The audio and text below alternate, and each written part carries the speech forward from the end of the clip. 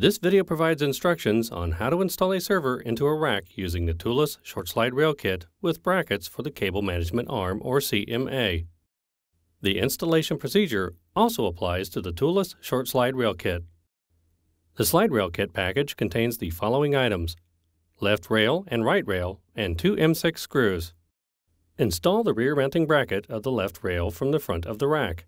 You can install the rails into racks with square holes or round holes. Slide the outer rail toward the rear of the rack. Line up the pins on the rear of the rail with the corresponding holes in the rear mounting flange. Attach the rear mounting bracket to the frame by pushing the rail toward the rear of the rack until the rear latch opens.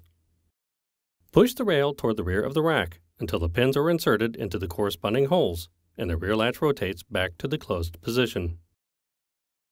Install the front mounting bracket of the left rail. Note, make sure the inner rail is pushed back far enough to allow the front mounting bracket to be open.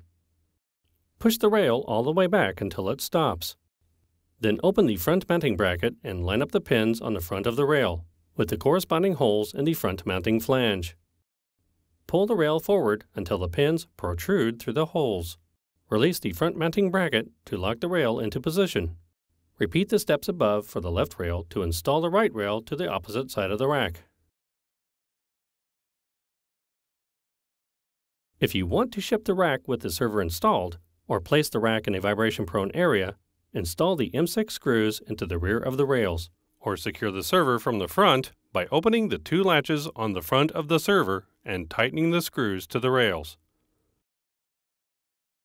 Install the server into the rails by pulling the rails forward until the inner rails click two times into place. Caution! Ensure that two people are lifting the server together. Carefully lift the server and tilt it into position over the rails so that the mounting studs on the server line up with the mounting holes in the inner rails. Slowly lower the server down until the rear mounting studs slide into the rear mounting holes, and then the front mounting studs go into the corresponding mounting holes in the rails. Ensure that the mounting studs are locked into position so that the server is firmly secured. Lift the locking levers on both sides of the rails.